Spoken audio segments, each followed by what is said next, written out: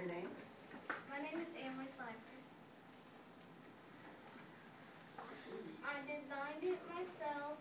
Uh, I got my idea from a robot we built called the baseball batter.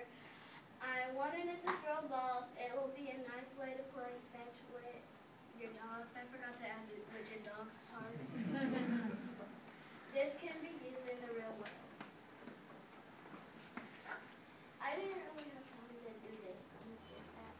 Motors does it have? One? And it's got a sensor. And what about the challenges? It tosses balls So when you were making it, what was hard?